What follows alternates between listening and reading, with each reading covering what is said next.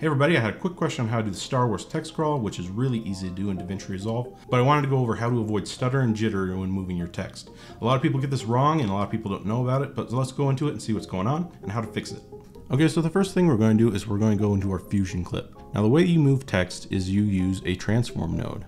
Now you'll probably get in there and you'll probably just go to the first frame, you'll move your text down and you'll go to your last frame and move it up till it gets off the screen. And there's nothing really wrong with that, but that probably is going to introduce the stutter and jitter that I'm talking about.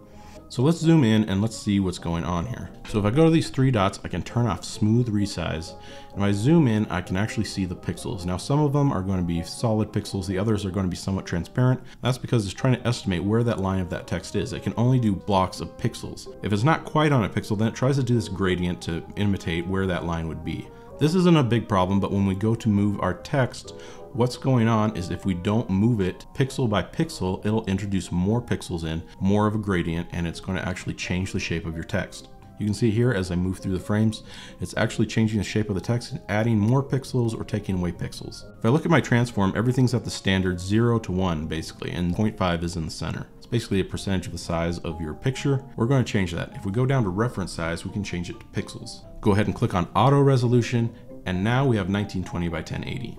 If we go back to our center points, we can see they're now in pixel increments. And as you can see, we have fractional movements there, and that is what's causing the stutter and the jitter. To get rid of that, I'm going to remove my keyframes.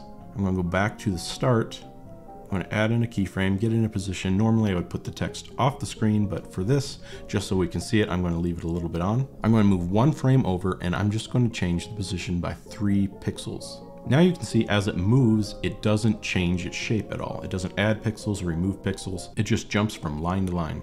Now you're thinking that's great, but we only moved it three pixels. We want it to move continuously. How do we do that? Well, if I go to my spline editor and highlight my transform, I can go to zoom to fit. There are my keyframes on zero and one. I can just highlight both of those and I can go down this loop that says set relative. What that's going to do is it's just going to continue to do the same thing over and over again. It's going to move three pixels and then it's going to move another three pixels can see as soon as I click on that, it just creates a straight line.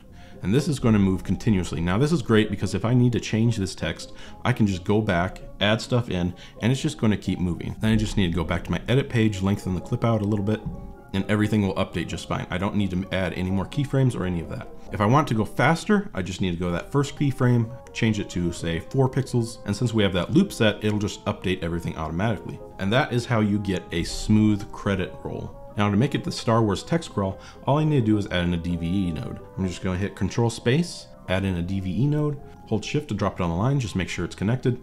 Then I just need to go into X rotation, put it to negative 75, and there you have it. Now all you need to do is change the text color to yellow, use some type of Franklin Gothic, and may the pixels be with you.